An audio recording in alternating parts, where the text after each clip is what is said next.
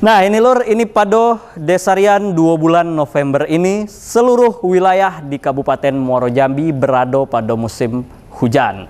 Jadi BMKG memprediksi intensitas curah hujan mencapai 300 mm per bulannya. Nah jadi kita sudah masuk musim penghujan nih lor. Kayak mana beritanya? Ini dia.